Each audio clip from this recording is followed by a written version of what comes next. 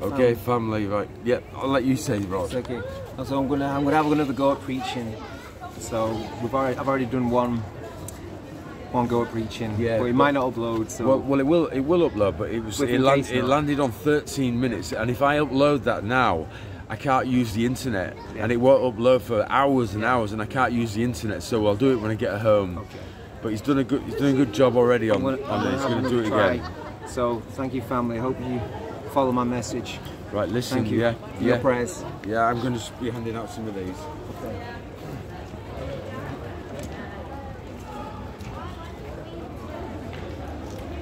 It doesn't seem obvious, but you have to rebuke and renounce the claim Satan has on your soul. We're here today to give good news, and the good news is the message of the gospel, the message of how your soul can be saved for eternity. Not a condemning message, we're simply telling you how to win, how to gain eternal life. There is only one way.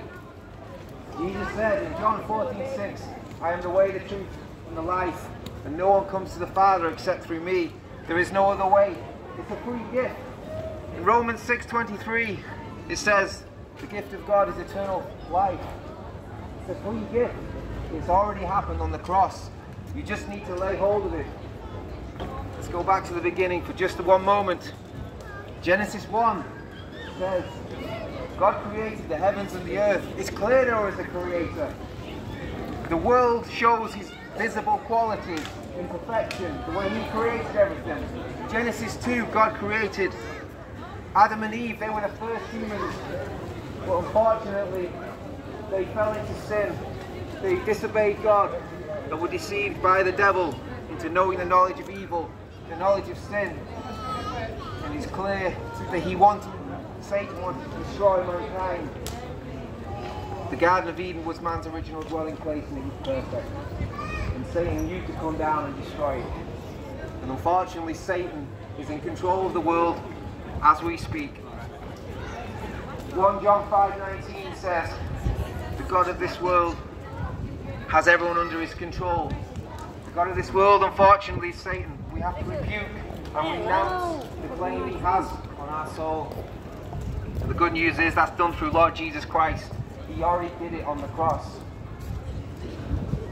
2 Corinthians 4 says the God of this world has blinded the minds of them that believe not.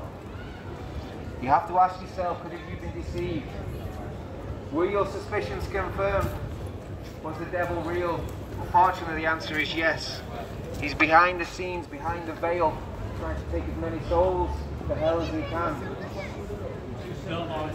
Ephesians 6:12 says we do not wrestle against flesh and blood, but against spiritual forces of darkness. Well, that's Satan and his army behind the scenes. It's clear he's infiltrated our leaders, governments and nations. It's clear his plans are to distract you from the grace of our Lord God and sending Jesus down to save us. There's no way to be saved. You cannot be saved through works. Remember, it's already happened on the cross. All. Oh. Ephesians 2 says you've been saved by grace. It's a gift of God. Jesus knew that only his blood would atone for the sins of humanity. You may be familiar with the Old Testament where animals were sacrificed for the sins of the people. What this means is Jesus knew that only his blood would atone for the sins of humanity. He bore all the sins of humanity in his body like an animal in the Old Testament and shed his blood so we could be saved. Without the shedding of blood, there is no forgiveness of sins. Revelation 1 5 says, Unto him who loved us and washed us from our sins with his blood. You have to believe this to comprehend, to be saved. Romans 5 8 9 says, While we were still sinners, Christ died for us. This means, unfortunately, we were all born into sin. We have to renounce, revoke the claim Satan has on the soul. We can do this by our blessed Savior, Lord Jesus. Believe that Jesus rose from the dead after three days. The shows he was God and was divine. He rose again for all of humanity so we could be saved. Believe that. Believe he rose from the dead. Believe in your heart that God rose him from the dead. The same power will then live in you, the Holy Spirit, and you are sealed forever. You are safe and sealed forever. Believe what Jesus did. Believe he shed his blood for your sins, and you gain the Holy Spirit, and you are safe and sealed forever with the Holy Spirit. You get to live in eternity. Thank you. Hallelujah. Wait, we're, no, we're okay. We're okay. Yes. Yes. What our brother says is very true. Exactly true. There's only one name under heaven given to us by which we must be saved. Jesus Christ. Jesus said, I am the way, the truth, and the life. No man comes to the Father but by me. Jesus said, I am the door. By me, if any man shall enter in, shall be saved. He will go in and out and find pasture. The thief Satan, the God of this age, the devil, he's a liar, the father of lies. He comes to steal, kill, and destroy. He prowls around like a roaring lion, seeking whom he may devour. So please, if you're, if you're in Jesus Christ, he cannot touch you. He has no legal right to your soul. Once you're saved, the devil has no legal rights to your soul. You belong to God. Once you're saved, God has bought you with his own precious blood. That was God on the cross, the Son of God, who died for us to shed his blood for the forgiveness of our lifetime of sin. That means your past and your present and your future sin. He was buried and uh, on the third day he rose again from the dead. And just by believing this in your heart and calling upon Jesus, you'll be saved.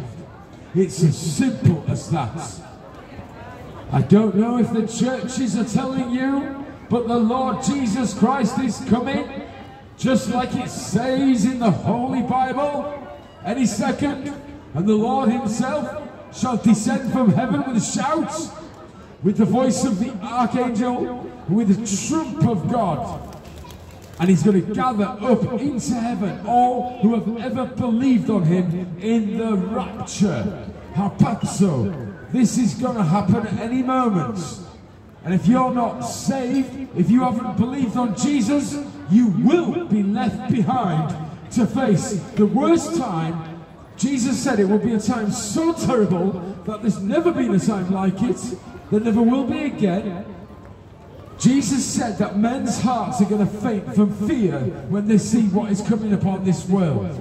And this is why we are here to lead you and tell you how easy it is for you to be saved just by believing on Jesus' sacrifice on the cross for all our sin, so that you won't be here for this apocalypse period. Seven years, Jacob's trouble, Daniel's 70th week, Revelation, the great tribulation. Seven years is going to be when God is going to pour out his wrath and his judgments upon an unbelieving and unrepenting world which refuses to acknowledge the Lord our God, who made the heavens, the earth, the sea, and all that is in them. So let the wicked forsake his way, and the unrighteous man his thoughts and let him return unto the Lord and unto our God because he will abundantly pardon. Return to the Lord your God by believing the good news, the gospel of Jesus Christ, and you will be saved. This is your eternity. You are made in the image of God, which means you have an eternal spirit and soul inside you. And your decision to accept or reject the Lord Jesus Christ will determine if you spend eternity in heaven, the most beautiful place you can imagine, or in hell, in outer darkness, weeping and wailing for eternity. We don't want you to, to end up in hell. Of course we don't. Neither does God. God wants none to perish. The Bible says that God, He loves His creation. He wants all to be saved. The Bible says that all can be saved. And it's not about being religious.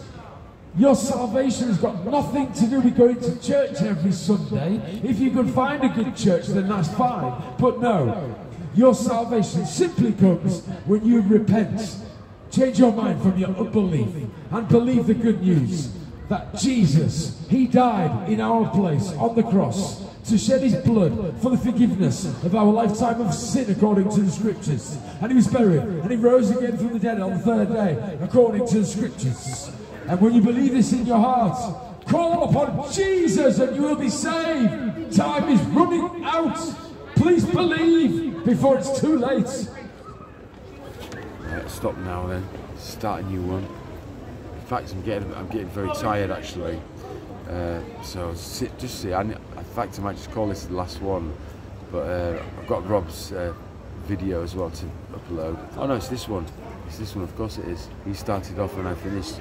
All right. Um, yeah, I'm feeling a bit weary, but uh, thanks to your prayers, I think it's what's kept me going. And Rob. So, so Rob, I'm thinking. What time is it now? Hold on. Hold on. Right. Yes, I, I think it's best for me to to start heading heading home. You know, I've been here like nearly four hours That'll now. Was that shorter or look load easier? Yeah. Okay. All right then. So we love you, family. We love you so much, and once again, thank you for all your prayers. Thank you so much. Thank you for your support. We won't be able to do this without you. Know, we love you, but moreover, Jesus Christ loves you. Okay. The best friend you've got for eternity, Jesus Christ. He'll never leave you. He'll never forsake you, and that means he won't leave us here. He won't forsake us here. It's a pre-tribulation rapture when you rightly divide the word of God, and it'll give you so much more peace. If you're a post-tribber, just look into it a little bit more, and you'll see, and it'll give you so much peace. You what? You stop your prepping and all that a lot, and realise you're going up before it all starts. Of course. Right. Okay then, Rob. Okay. Okay, we'll see you next time then. See you. See you guys. All right. Bye bye.